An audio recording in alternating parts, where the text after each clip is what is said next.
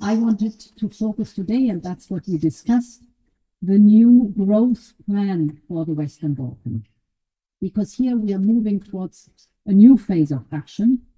This plan has the potential, if we implement it rightly, to double the size of your economy still in this decade, to drive growth and convergence.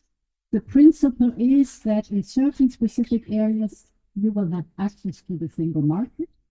For this, reforms are necessary, and the reforms are accompanied by investment. So it opens the door to the single market, to the common regional market, the Western Balkan uh, countries, and this will, of course, be then underpinned by financial investment, investment plus reforms that are necessary. And it will play an important role in your With the reforms, investment is also coming. So new trade routes, new trade opportunities, business opportunities, one point. Reform requirements in the specific Western Balkan country is the second one. And the third one is investment that specifically comes to support these reforms. Um, this is basically the essence of the plan.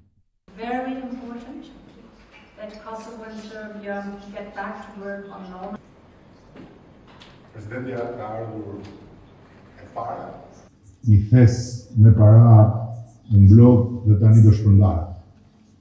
Kjo është një marrëdhënie që po një mundësi refinancimi është aty për ne dhe ne duhet ta i bëjmë detyrat e shtëpisë sa më mirë që të marrim sa më shumë financime në këtë drejtim.